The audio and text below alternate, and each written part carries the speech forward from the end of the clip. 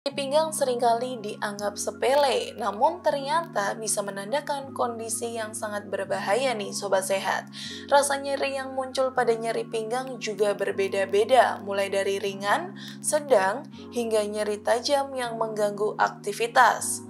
Adapun penyebab nyeri pinggang yang paling sering terjadi di antaranya cedera saat berolahraga, akibat duduk terlalu lama, atau membawa tas punggung yang terlalu berat, serta terjadi peradangan pada sendi tulang belakang.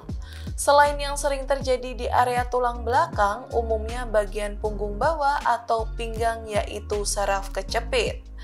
Bahkan perokok atau orang dengan kebiasaan merokok juga rentan mengalaminya. Sebab kebiasaan merokok dapat mengurangi suplai oksigen ke tulang belakang sehingga menyebabkan tulang belakang lebih rentan rusak dan duduk dalam waktu yang lama.